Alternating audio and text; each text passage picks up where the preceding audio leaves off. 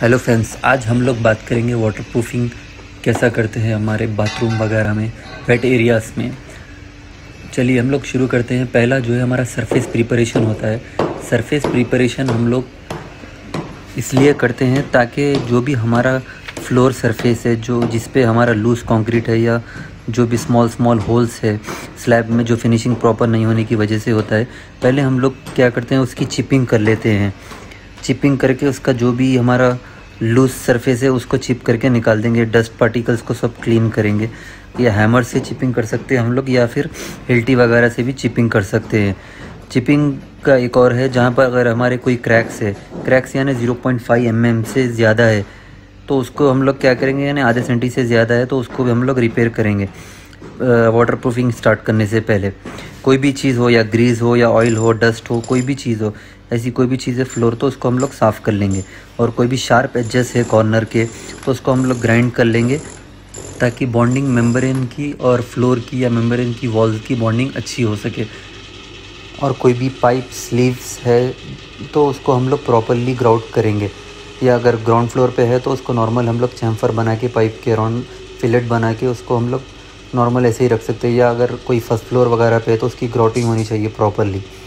चलिए, आगे हम लोग देखते हैं, उसको एंगल फिलेट करते हैं। एंगल फिलेट यानी चैम्फर बनाते हैं, जो भी कॉर्नर जॉइंट से हमारा, वहाँ पर चैम्फर बनाते हैं, ताकि बॉन्डिंग जो भी हमारी वाटर प्रूफिंग की बॉन्डिंग है या वाटर प्रूफ जो हमारा, उसको पेस्ट होगा वॉल को, वो प्रॉपर होगा। अगर कॉर्नर शार्प रहेंगे तो उसको प्रॉपर पेस्ट नहीं होगा। तो इसके लिए हम लोग चैम्फर प्रोवाइड करते हैं, या उसको एंगल फिलेट भी बोलते हैं। वो fifty M M by fifty M M या पाँच सेंटी बाई पाँच सेंटी का हम लोग कह सकते हैं वॉल पे।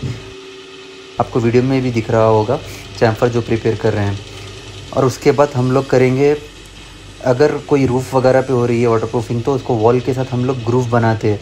एक उसका टर्मिनेशन लेवल होता है, जो भी हम लोग का है फ्लोर से 40 सेंटी पे 50 सेंटी पे जहाँ भी टर्मिनेट होगा, वहाँ पर ग्रूफ बनता है, ताकि वाटर प्रूफिंग उसके अंदर टर्मिनेट हो। अभी हमारा यहाँ पर बाथरूम है तो इसके अंदर ऐसा ग्रूफ की ज़रूरत नहीं है। डायरेक्ट हम लोग पेस्ट करेंगे उसको वॉल पर, फिर उसके बाद उसके ऊपर प्लास्टर होगा, फिर टाइल फिक्सिंग होगा। फिर हम लोग स्लैब की फिनिशिंग के लिए उसको मोटार से सीमेंट मोटार से स्लैब पे प्लेस करेंगे। जहाँ पर हमारा स्लैब अभी रफ़ था तो हम लोग इससे, हम लोग प्रॉपरली इसको फिनिशिंग देंगे ताकि हम लोग का मेम्ब्रेन और प्राइमर इससे अच्छी बॉन्डिंग हो। जैसा आप देख सकते हैं ये वीडियो में, हम लोग सीमेंट मोटर का पेस्ट बनाकर पूरा फ्लोर में डालेंगे। ताकि अभी फ्लोर भी देख सकते हैं आप, यहाँ पर साफ़ नहीं है। तो इस, ये सबको क्लीन करने के लिए हम लोग एक मोटार का पेस्ट बनेंगे बेड फिर हम लोग मोटार को अच्छे से ड्राई होने देंगे ट्वेंटी फोर आवर्स तक। जैसा मोटर ड्राई हो गया, आप देख सकते हैं यहाँ पर। ये मोटर ड्राई होने के बाद कंप्लीट अभी हम लोग वाटर प्रूफिंग प्राइमर स्टार्ट करेंगे। जैसा आप देख सकते हैं अभी प्राइमर हम लोग मार रहे हैं ब्रश ब्रश के साथ। या रोलर भी यूज़ करते हैं, लेकिन अभी हम लोग यहाँ पर ब्रश यूज़ कर रहे हैं।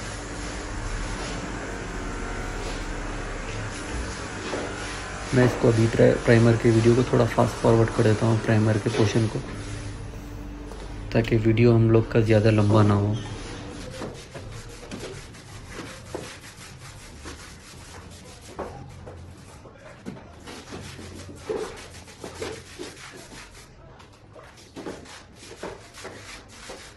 प्राइमर को हम लोग अच्छे से यूनिफॉर्म वे में अप्लाई करना चाहिए, ताकि अच्छा सा उसका थिक कोट आ जाए फ्लोर पे। उसके बाद हम लोग उसको 24 फोर आवर्स के लिए ड्राई करने के लिए छोड़ देंगे। और नेक्स्ट डे जब आएँगे, हम लोग उसको प्रॉपर ड्राई है या नहीं चेक करेंगे। जब प्रॉपर ड्राई होगा तो उसके ऊपर कुछ डस्ट वगैरह हो तो उसको हम लोग क्लीन करेंगे। फिर हम लोग मेम्बरिन स्टार्ट करेंगे। तो जैसा अब आप लोग देख सकते हैं, हम लोग गैस टॉर्च की मदद से मेम्बरिन को प्लेस करने करने वाले हैं। टॉर्च का फ्लेम हम लोग बोथ सरफेस और मेम्ब्रेन शीट दोनों पर यूनिफॉर्मली होना चाहिए ताकि उसकी गर्मी से वो मेम्ब्रेन मेल्ट हो और अच्छे से फ्लोर पे सरफेस पे हमारे बॉन्ड हो। और जॉइंट्स जहाँ हैं हमारे जॉइंट्स जहाँ दिखा रहे हैं, वहाँ पर हम लोग मेम्ब्रेन को अच्छे से मेल्ट मेल्टेड जोन यानी ज़्यादा मेल्ट नहीं होना चाहिए, थोड़ा जहाँ मेल्ट होता है वहाँ पर ट्रॉवल से हम लोग उसको अच्छे से आगे पीछे जितना भी जॉइंट है, उसको अच्छे से फिक्स करेंगे प्रेस करके। और एक बात है जो साइड के लैप्स है हमारे साइड के लैप्स यानी शीट को जो हम लोग साइड बाई साइड रखेंगे, उसकी लैपिंग हमको चाहिए एटलीस्ट हंड्रेड एम यानी दस सेंटी होनी चाहिए।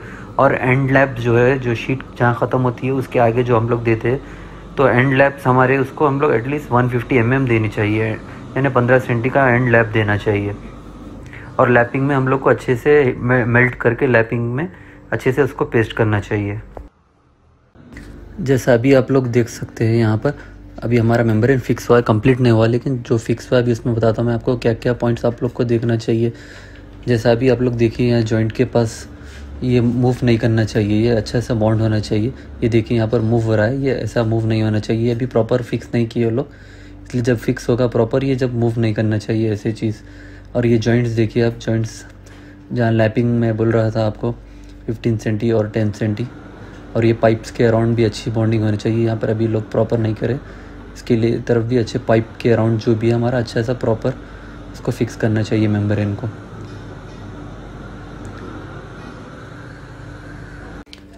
और हमारा मेम्ब्रेन कितने लेयर में लगा रहे हैं हम लोग? एक एक लेयर लगा रहे हैं मेम्ब्रेन या दो लगा रहे हैं? ये डिपेंड करता है हमारा जो भी अप्रूव ड्राइंग है ये हमारे स्पेसिफिकेशन में मेंशन होता है कि कितने लेयर हम लोग करने वाले हैं।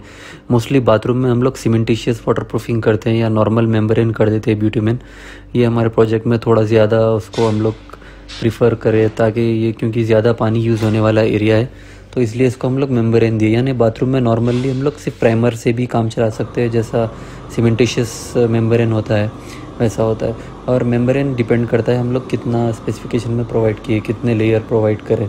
और हम लोग अगर फाउंडेशन वगैरह में यूज़ कर रहे हैं तो वहाँ पर हम लोग मेम्ब्रेन भी करेंगे, साथ में प्रोटेक्शन बोर्ड भी आता है, वो भी लगाएँगे। मेम्ब्रेन हमारा थिकनेस होता है अराउंड फाइव एम थिकनेस होता है।